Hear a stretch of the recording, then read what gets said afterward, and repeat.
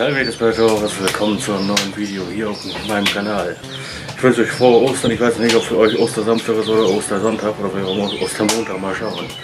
Ähm, für mich ist heute Karfreitag, ich werde heute mal das Lamm, das Osterlamm ein wenig anders, ein wenig anders bereiten. Ich habe hier diesen neuseeländischen Lammrücken bei Aldi gekauft, 27,99 Kilo. Ne, dieses Viertelkilo hat 6,27 gekostet, 224 Gramm sind es, um genau zu sein. Ich habe ja Weihnachten habe ich auch für euch gegrillt und auch das letzte Mal gegrillt für mich. Da habe ich auch teures Fleisch verarbeitet, das werde ich jetzt immer so machen, wenn Feiertage sind. Und dann habe ich hier noch dieses wunderbare T-Bone Steak, 20 Euro oder Kilo. Was ich sonst noch mache, könnt ihr im Videotitel lesen oder sonst gleich hier im Video sehen. Wir werden heute machen diese Sommersteaks von Aldi. Die sind ein bisschen trocken, meint habe ich letztes Jahr schon mal gehabt. Dann werden wir den eben angesprochenen bezeichneten Lammrücken machen. Hier dann nochmal das T-Bone Steak. Dann machen wir wenig Kalbsbratwurst, so eine Art Merguez. Dann habe ich hier noch Thüringer Rostbratwurst von Aldi, finde ich auch ganz interessant. Dann habe ich hier noch Bratwürste von Netto, die schmecken auch aus der Pfanne ganz gut. Die habe ich schon mal ein paar Mal gemacht. Ich weiß nicht, ob ich die mal, ich glaube, die habe ich euch auch schon mal im Video gemacht, ich weiß es nicht mehr. Und dann werden wir noch diesen wunderschönen Bauchscheiben essen oder machen. Und wie ich die mariniere, seht ihr jetzt. Und auch wie ich dieses T-Bone Steak mariniere. Mit diesen vier Gewürzen werde ich jetzt diese Bauchscheiben würzen. Einmal mit dem Well Done Traditional Barbecue Rub, Well Done Samurai Barbecue Rub und den Texas Style Barbecue Rub. Die habe ich alle mal im Video getestet. Und dann benutze ich noch dieses Chili Jalapeno Topping von Aldi. Die sind alle von Aldi. Aber diese Gewürze kriegt ihr auch bei Amazon. Darum werde ich euch die hier unten in der Videobeschreibung verlinken. So, ich habe jetzt hier Bauchscheiben von Aldi. Die mache ich mal eben auf. Ist schon wieder so eine Geschmackssache. Ne? Äh, hatte ich heute vorhin mit meiner Mutter drüber.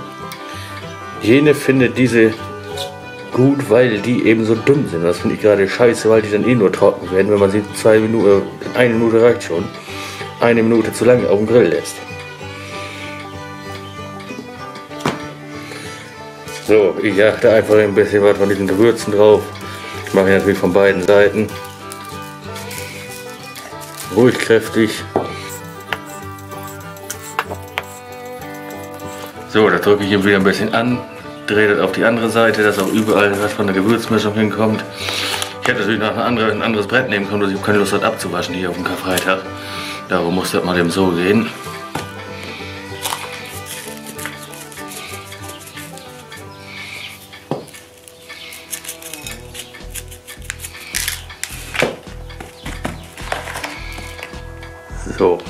Hier haben wir meine Bauchscheiben. Die sehen soweit ja echt gut aus. Weil Ostern ist, habe ich mir mal was gegönnt. Ihr lest, könnt es selber lesen. Ein T-Bone Steak Natur vom Rind. Kilo 20 Euro. Das kleine Stückchen hier hat 11,22 gekostet. Auch wenn ihr jetzt sehen könnt, dass ich das Kombi hier in meiner Stadt gekauft habe. Ich musste leider Gottes selber bezahlen.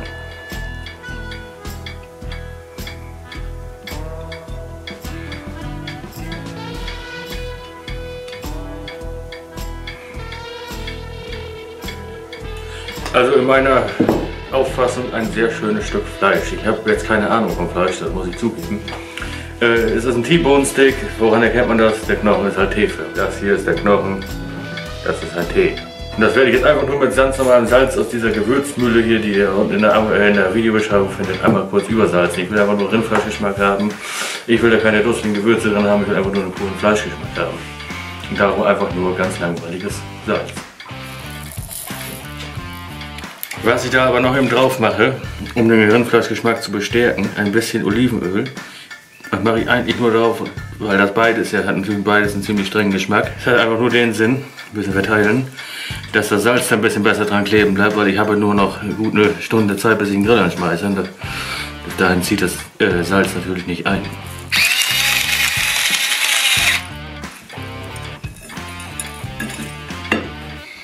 Andere Seite genauso.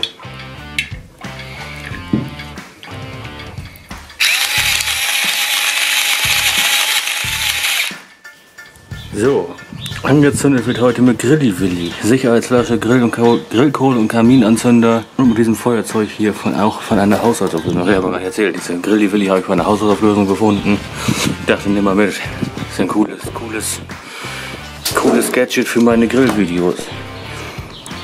Ich weiß nicht, wie alt das ist. Jedenfalls steht hier ein Preis drauf, zwei Preise sogar drauf. Wir haben noch oben 7,95 der D-Mark-Preis und 3,99 Euro von Continent. Die Firma kenne ich gar nicht. Meine, die Flasche habe ich in Hefer gefunden, aber ich kenne den Laden dann nicht.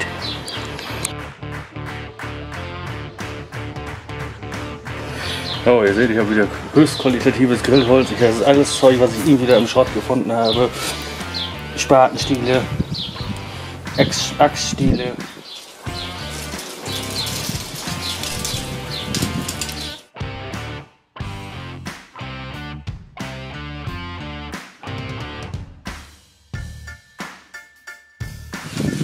Ganz schön windig heute. Ich hoffe, ihr könnt mich trotzdem verstehen. Die Zeitung ist mir gerade schon runtergeweht. Das hier ist ein Filibus aus einer alten Zeitung.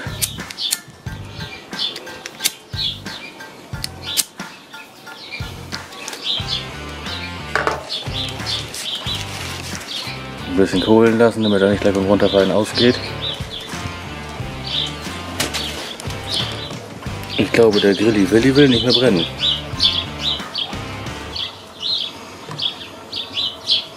Na doch, jetzt fängt er da unten an zu brennen. Jetzt geht's los. Ne, ihr könnt sehen und hören, der Kollege Waschmaschinengrill tut seinen Dienst. Mein hochqualitatives Holz brennt auch super und sauber ab. Auch heute wird mir mein Grillkocher zur Verfügung stehen. Von Brutzler. Cooles Ding findet ihr auch in der Videobeschreibung. Ich denke mal, dass ich heute nur die Grillzange benutzen werde. Also ich bin echt froh, froh den zu haben. Ja, dieses Grillrost kennen auch noch meine Stammzuschauer. Das habe ich nämlich mal selber gebaut, als ich letztes Jahr Corona hatte. Das kam, habe ich zur Zeit gebaut, als ich diesen Waschmaschinengrill gebaut habe. Das ist wirklich V2R Edelstahl hier. Den habe ich halt mit Mischgas zusammengeschweißt. Aber es hält immer noch. Ich habe es aber auch erst zweimal benutzt, damit das zu schade und zu teuer ist. Aber heute werden wir das jetzt benutzen. So, ich fange jetzt mit meinem T-Bone Steak an. Das packe ich jetzt einfach hier auf den Grill. Ja, der haben wir das gute T-Bone Steak. Das, ich denke mal so zweieinhalb Minuten von jeder Seite. Dann einmal kurz ziehen lassen und dann noch mal ein bisschen warm machen. Dann müsste das eigentlich gut sein. So also mit ein bisschen innen noch leicht roh, damit das nicht zu zäh wird. Bin gespannt, ich habe das noch nie gemacht. Ich habe noch nie geguckt, wie man das eigentlich zubereitet. Ich probiere mal wieder ein bisschen aus. So, ich will das jetzt im Dreh mal gucken, ob ich das mit euch in der Hand kriege. So, sieht ganz gut.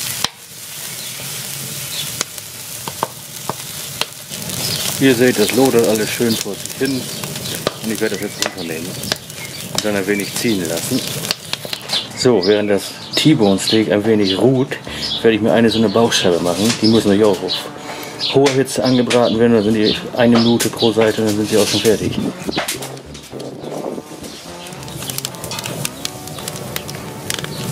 Ich das jetzt schön hier in der Hitze einmal pro Seite ungefähr eineinhalb Minuten drauf. Wie ich ja nämlich schon beim Marinieren gesagt habe, das Fleisch ist ekelhaft dünn.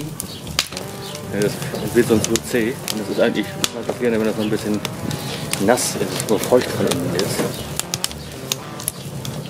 Aber heiß ist das hier wirklich. Ich habe einen heißen Job. So, jetzt drehe ich das einmal um.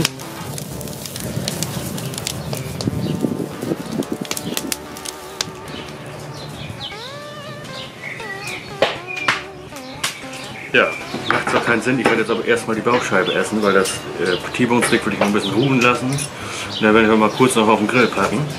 Ja, wie gesagt, eineinhalb Minuten war das jetzt drauf. Das Fleisch ist soweit durch. Schmeckt auch nicht. Man schmeckt halt diese Barbecue-Gewürze von Aldi raus, kann man sehr gut rausschmecken. Schmecken für mich fast alle gleich, nur das rote, das differenziert sich ein bisschen vom Geschmack. Ich bin da kein Fan von, aber auch kein Hass davon. Aber so als Bauchscheibe, ich wollte immer mal zum Grillen benutzen, weil das meistens immer nur so für Pfannengerichte benutzt habe. Aber so ein Barbecue ich fürs Barbecue noch nie benutzt.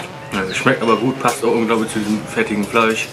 Ich esse das noch aus und dann geht es ans T-Bone Steak und dann kommt der Lammrücken dran. Ich habe jetzt hier meinen Lammrücken von Aldi liegen. Ich werde die Packung öffnen mit diesem Eden-Messer. Das werde ich euch auch verlinken. Ich bin da totaler Fan von. Dieses Produkt werde ich, oder dieses Messer, das teste ich auch noch in einem Video separat, das habe ich noch nicht veröffentlicht. Aber es wird kommen ist nämlich saumäßig scharf und so ein Messer wollte ich immer mal haben.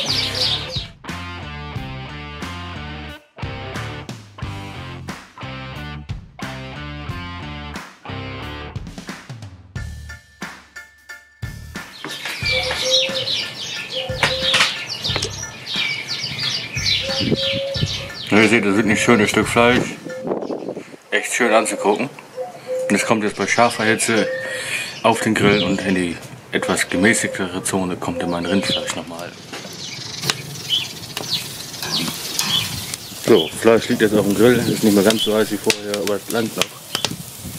Da kommt jetzt gleich erstmal das Rindfleisch noch zu. Und ihr seht, das Lammfleisch liegt jetzt in der, in einer heißen Zone des Grills. Die ist durch Zufall entstanden. Und das Rind liegt ein wenig abseits mein T-Bone Steak. Das soll nur ein bisschen warm werden, damit es auch innen nicht zu blutig ist. Dann muss ich nämlich, nämlich auch nicht so mein Fall, wenn das komplett blutig ist. Das ist Müll.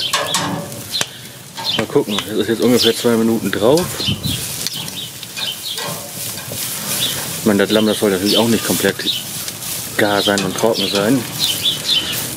Aua. Hier ist dann doch ein bisschen erträglicher zu stehen. Ich will noch einmal auf die andere Seite drehen schönes Muster. Das Muster sieht echt klasse aus. Muss ich mal selber loben.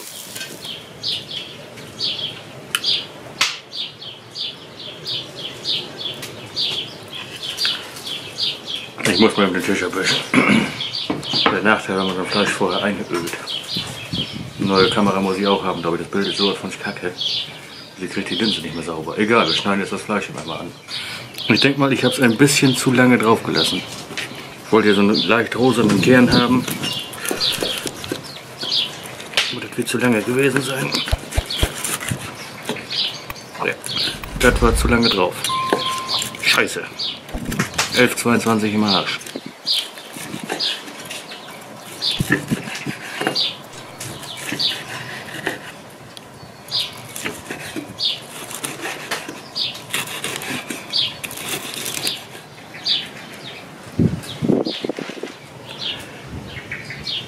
so sieht das jetzt aus. Ich meine, man sieht, es ist zu, war für meinen Geschmack und für den Geschmack. Schande auf mein Haupt. Meine, das war dann doch ein bisschen dünner als gedacht, dieses Fleisch. Vielleicht schmeckt es ja trotzdem groß. Geschmacklich ist da nichts einzuwenden, nur es ist halt zu lange drauf. Es ist leicht zäh. Es ist auch kein großartiger Rindfleischgeschmack mehr da. Junge. Aber geschmacklich wirklich sehr gut, nur leider war es zu lange drauf. Ich hätte das nach dem Ruhen nicht wieder draufpacken sollen, glaube ich.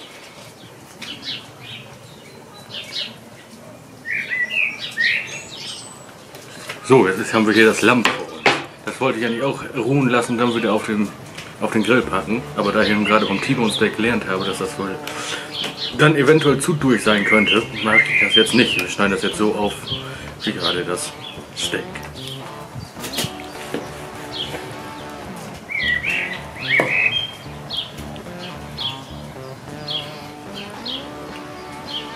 Das ist mir persönlich aber noch zu roh. Wie es hier hinten ist. Da ist es gut. Ich hätte auch gedacht, dass das, dass das auch zu durch wäre, dass es noch zu roh ist, hätte ich jetzt auch nicht gedacht. Probieren wir mal. Ich habe jetzt ein Eckstück abgeschnitten und ein Endstück, das habt ihr gesehen. Das probieren wir jetzt. Schmeckt aber echt super. Okay, es ist schön saftig, es ist nicht zäh, es kann, man kann man es gut beißen. Wirklich eine schöne Konsistenz, mir schmeckt es auch gut. Ich habe das, hab das ja schon fertig mariniert gekauft. Ähm, aber die Kräutersoße, die da drum war, passt unglaublich gut zum Lammfleisch. Also das Fleisch schmeckt mir wirklich sehr, sehr gut. Ich werde das noch ein bisschen drauf lassen, weil das ist mir dann doch noch, selbst mir noch ein Stückchen zu roh.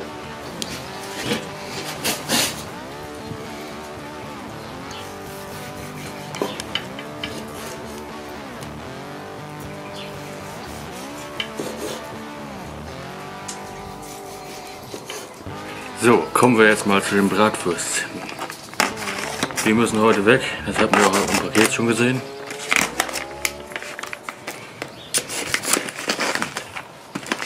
Ist eine schöne, feine Wurst. Ist aber auch nicht ganz günstig mit 10,37 glaube ich das Kilo. Dann werde ich mir jetzt hier eine Thüringer Rostbratwurst rausnehmen. Wir hatten sie im Angebot 6,99 die 1000 Gramm hier. Oder 5,99, weiß ich nicht. Ich nehme die hier, weil ich die schon quasi eingestochen habe. Mache ich jetzt nochmal. Dass mir die nicht gleich beim Grillen wegkratzt. So. Hier haben wir erstmal die Wurst von Nett.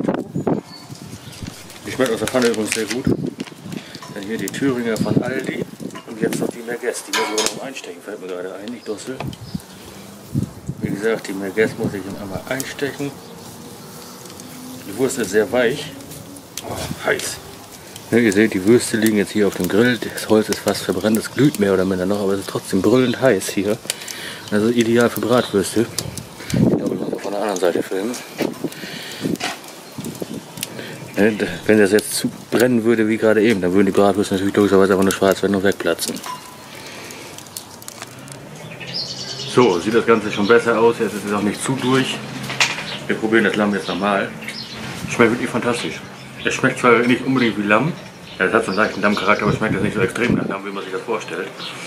Ähm, es ist zwar teuer, dieses Stück Fleisch. 22, äh, Stück Fleisch hat 6,27 glaube ich gekostet. Und Kilopreis lag bei 2, äh, 23 Euro knapp.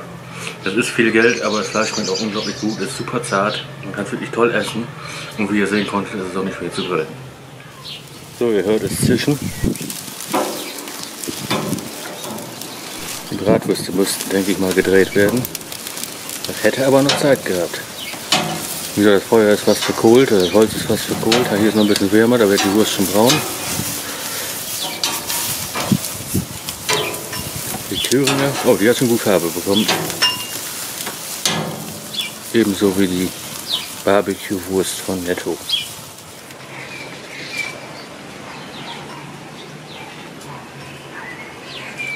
So, ja, wie ihr sehen können, die Bratwürste sind fertig. Ich habe das jetzt nicht unnötig gefilmt, weil wie man eine Bratwurst grillt, hat glaube ich jeder schon gesehen. Oder kann auch irgendwie jeder. Ähm, ich hole jetzt mal ein Messer. Ja, ich kann euch dieses Edenmesser wirklich nur empfehlen. Also ich finde das wirklich klasse, ich bin froh dazu haben. Ähm, ja, ich fange jetzt einfach mal an mit der Thüringer Brat. Ein Stückchen aus der Mitte raus. Habe so eine Gabel mit rausgebracht. Heute ist es noch wieder extrem windig. Es tut mir leid, dass ihr solche Windgeräusche in der Kamera habt, aber ich kann das nicht ändern. So, das ist jetzt hier die Thüringer Bratwurst. Ziemlich weich, aus der Pfanne mag ich die nicht, weil die mir nicht zu weich in der Pfanne ist. Aber vom Grill schmeckt die wirklich gut. Schmeckt wie so eine klassische Bratwurst, weil es eine klassische Bratwurst ist. Aber schmeckt gut. Dadurch, dass ich die eingestochen habe und das Wasser da rausläuft, ist die auch nicht mehr so flüssig und nicht mehr so weich wie aus der Pfanne. Darum finde ich die ganz gut. Und dieser Röst, der Rostgeschmack des Grills passt auch unglaublich gut zu der Bratwurst, finde ich, und zu der Thüringer Wurst. Jetzt probieren wir noch eben zusammen die Barbecue-Wurst von Netto. Auch da schneide ich mir Stückchen davon ab.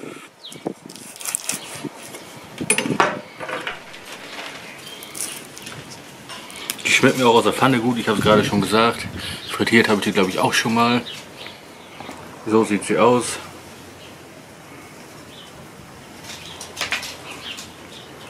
Schmeckt wirklich gut. Also die Bratwurst äh, schmeckt wirklich klasse. Ich mag die gerne essen. Ich habe sonst auch gerne diese 10er Pakete von Aldi gegessen, aber die schmecken seit zwei Jahren sowas von scheiße, darum kaufe ich die nicht mehr. Also mir schmecken sie nicht so, mal so sagen. Und diese Bratwurst von Netto schmeckt wirklich gut. Bloß was mich am Bratwurst derzeit stört, ist, dass die unglaublich teuer geworden sind. Gut, alles ist teuer geworden, das will ich nicht abstreiten. Aber ich finde auch, dass Bratwurst im Vergleich zu festem Fleisch unglaublich teuer ist. Ne, wie oft hat man eine Bratwürste von Firma Blei zum Beispiel, die kosten weit über 10, 12 Euro das Kilo. Das gleiche kostet ein Stück Rindfleisch auch im Angebot. Und das ist irgendwie so ein Sachverhalt, der mich stört. Muss ich wirklich sagen. Also ich habe früher gerne, gerne und viel Bratwurst gegessen. Aber mittlerweile ist das ja so ein kleines Luxusprodukt. Und dann kann ich aber nicht überlege, dass Bratwurst irgendwie 8, 9 Euro das Kilo kostet und ich bei 9 Euro für 9 Euro bei Netto auch ein Stück Rindfleisch bekomme, kann ich was ein Stück Rindfleisch essen. So sehe ich das. Das hier ist die Merguez. Die habe ich gerade vom Grill geholt. Auch die schneide ich mal eben ein. Die braucht dann, wenn die länger wollen, weil die... Oh. Man konnte merken, dass die heute ablaufen.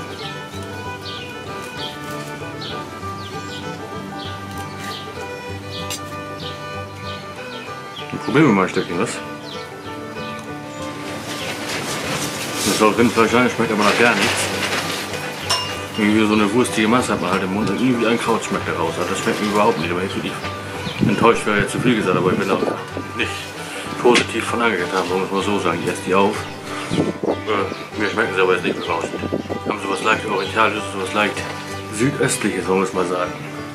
So, erstmal gesagt, die, die Sommersteaks, die ich da im Intro gezeigt habe, die habe ich heute nicht mehr gemacht. Äh, war auch so genug. Ich hoffe, euch hat das Video gefallen. Äh, wie gesagt, zu dem Edenmesser, da kommt noch ein Review auf meinem Kanal. Äh, das habe ich jetzt vorher Ostern nicht mehr geschafft. Ich finde das Messer toll, darum verlinke ich das auch guten Gewissens, ebenso wie den Grillkoffer und anderes und auch irgendwie Fleisch.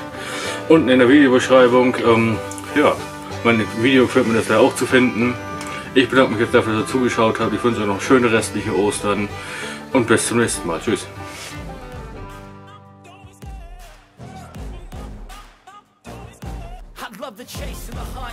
the pace when I'm running I always take what I want and I always give it 100 Don't need a bank, no I'm funded Play the game like it's nothing I'm always thankful for something Don't take for granted, stay humble Now wake up!